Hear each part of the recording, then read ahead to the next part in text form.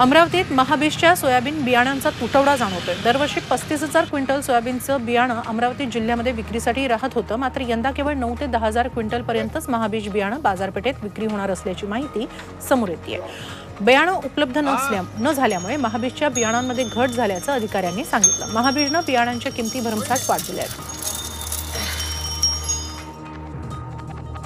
छत्रपतींचा विचार म्हणजे